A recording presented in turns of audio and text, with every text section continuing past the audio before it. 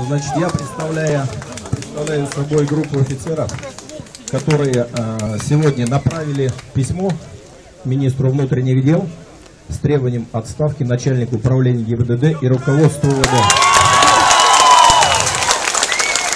Преклоняясь перед подвигом простых ребят, перед теми, кто нас сегодня здесь и охраняет от всяких беспорядков, кто здесь присутствует под дождем, тем не менее, нельзя не отметить, в том числе, как сказал президент, что корень этого преступления лежит в коррупции и продажности полицейских высших чинов.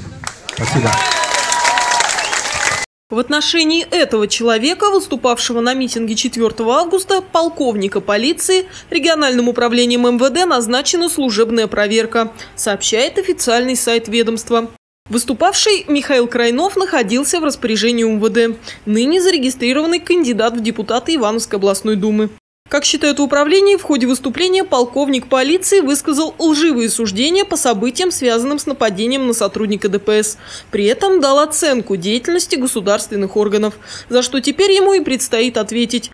Проверку по данному факту назначил сам начальник УМВД по Ивановской области Александр Никитин. Михаил Крайнов комментирует эту ситуацию следующим образом. Выйти с речью полковника сподвигло то, что, по его словам, митинг стал скатываться в сторону национализма. И таким образом он решил отвлечь людей, а заодно высказать свою позицию, что вряд ли такая ситуация могла произойти случайно.